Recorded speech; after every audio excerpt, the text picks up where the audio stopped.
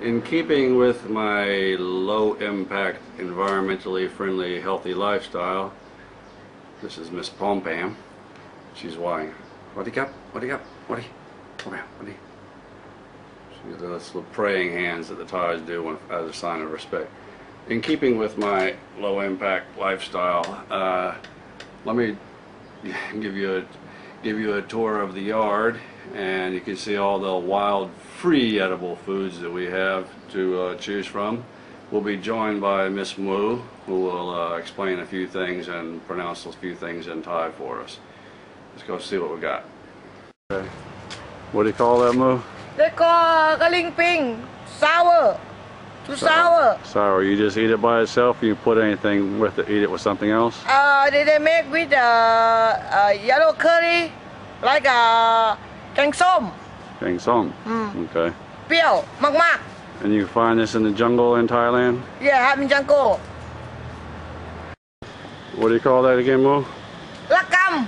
Lakam. Same salad. Same, same, same family salad. Same family salad, not called salad though. Okay. Uh.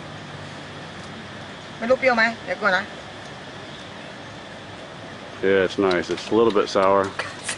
เปรี้ยวมากๆเปรี้ยวเปรี้ยวมาก Sour, huh? ๆ too sour This has got a lot of vitamin C in it. It's quite sour, so in a survival situation, it would help uh, salivate your mouth and stuff, so it kind of make you feel like you're not quite as thirsty as you might be.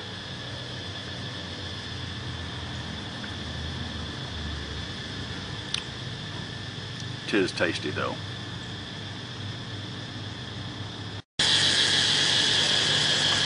That's another nice plant in my yard called Pak Tam Lung. Quite tasty. Usually boil it. Uh, very mild taste. Sure it's good for you. And it's actually a vine that's growing on a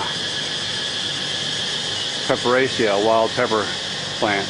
This right here will get, oh, red ant. This right here will get the uh, little peppercorns on them, standard pepper, native to this part of the world.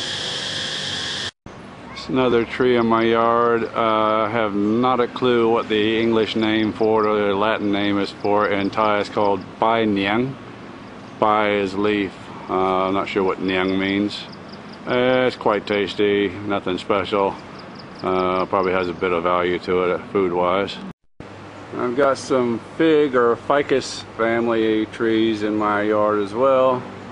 Uh, we've got over a hundred species of ficus in Thailand. Only a few are really edible. They're not all that tasty. They're certainly not like the big figs you get at the grocery store elsewhere. Very important food source for a lot of animals here. What I get in my yard is squirrels and birds, so I love having this tree in my yard. What do you call that one, Mo? It's called pak nam.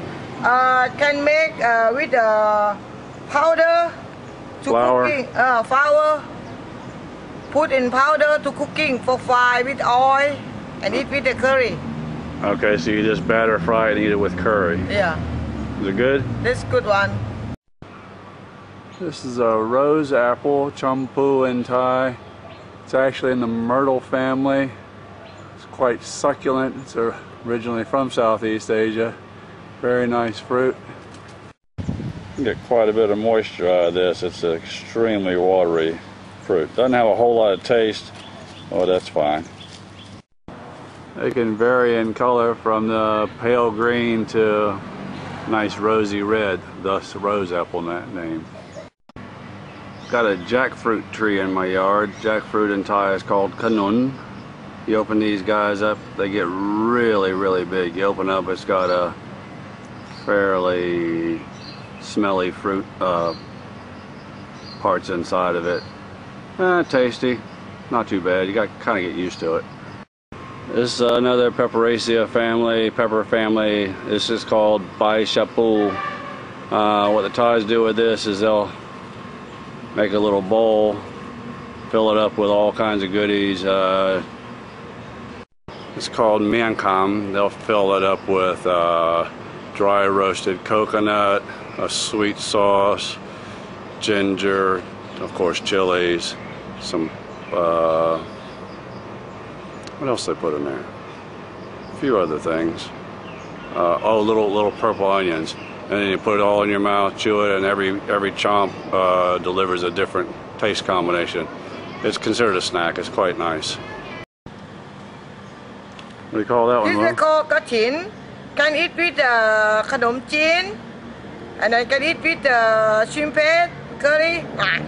Mm, good. good. Yeah, it's good. Kachin is a little Thai spaghetti noodle dish. Yeah. With curry, yeah, it's yeah, quite it's nice. Kachin. So you just eat that raw. You don't cook that, right? You just eat it like that? Yeah. It grows in the jungle everywhere, right? The jungle everywhere, I have to.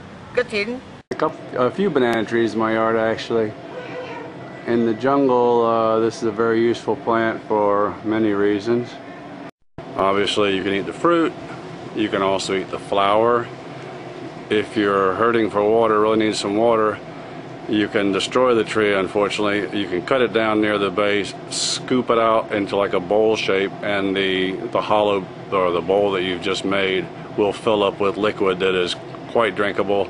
And uh, water in that will have some natural electrolytes as well. So it's a very useful survival plant and common. There are probably 20 species of banana tree grow in the jungles here.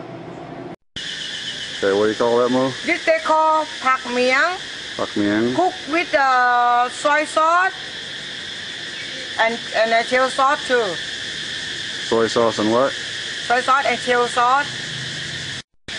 You cook it with soy sauce or oyster sauce, huh? Uh, and then and then eat with the uh, shrimp paste, curry. You get with shrimp paste too. Uh. Okay, good. Yeah. What do you call that one though? Mayom. Mayom. Yeah, they have fruit yellow, some more fruit yellow in here. Okay, Inside. that's a that's a gooseberry tree. In English, they call it gooseberry. The little yellow fruit grows right and the sour. And very sour. Yeah. But these leaves, you cannot eat like this. You only eat them when they're very young. The leaves. Yeah, yeah. Only with young very young leaf. Yeah, this only cannot eat. Okay. Got a few other fruit trees in my yard, like longan, not the season for them, unfortunately, quite tasty, and lumut, which is uh, jujube, quite tasty, very nice fruit as well. Wrong season, unfortunately. And what tall yard would be complete without some coconut trees?